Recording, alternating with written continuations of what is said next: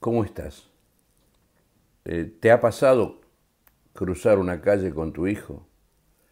¿O recordás cuando cruzabas una calle con tu papá o tu mamá tomados de su mano? Si tendríamos que cruzarla solo cuando éramos chiquitos, nos daba miedo. Pero tomados de la mano de papá, no teníamos temor. Estábamos con papá.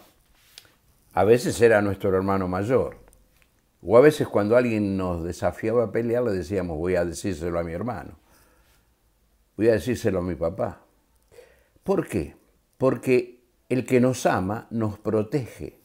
Y Dios le dice a Isaías, o dice por medio de Isaías, no temas, no tengas miedo, yo estoy contigo, yo estoy con vos. Dios quiere estar en tu vida como está en la mía por establecer una relación con Él a través de la obra de Cristo. La paga del pecado es muerte, mas el regalo de Dios es vida eterna. Es comunión eterna con Dios. Para eso fuimos creados. Y yo te invito a que te acerques a Cristo por la fe y le recibas como tu Salvador. Que Dios te bendiga.